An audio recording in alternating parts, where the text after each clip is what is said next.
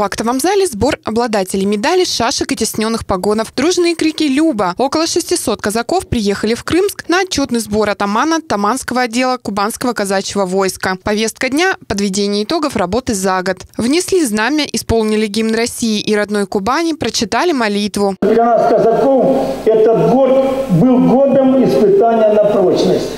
Таманский отдел на сегодняшний день представляет 8 районных и 103 казачьих обществ. Общая численность Таманского казачьего отдела 29 310 казаков.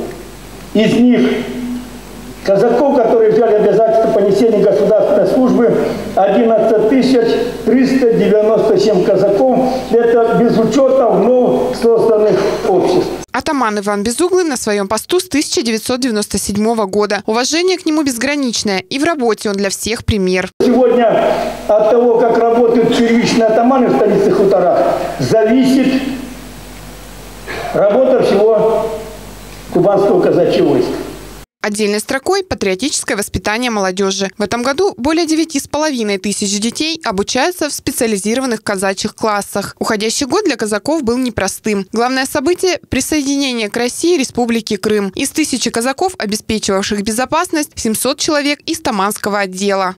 На сегодняшний день он самый дисциплинированный, управляемый и организованный.